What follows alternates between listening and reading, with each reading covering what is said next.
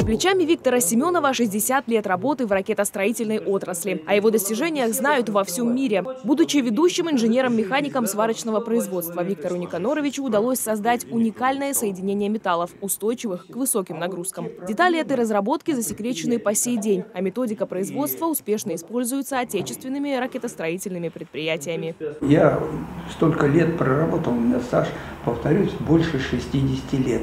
Я ни разу не был в отпуске.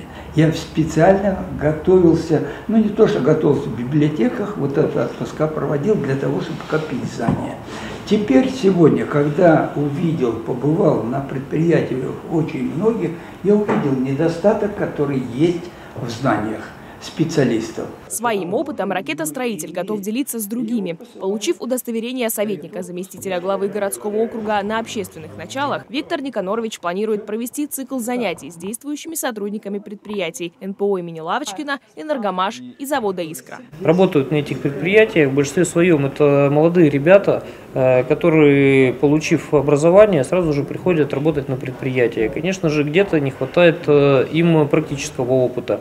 И в этом нам, э, конечно же, поможет наш почетный житель городского округа Химки, профессор, э, э, заслуженный лауреат многочисленных премий Виктор Никонорович Семенов.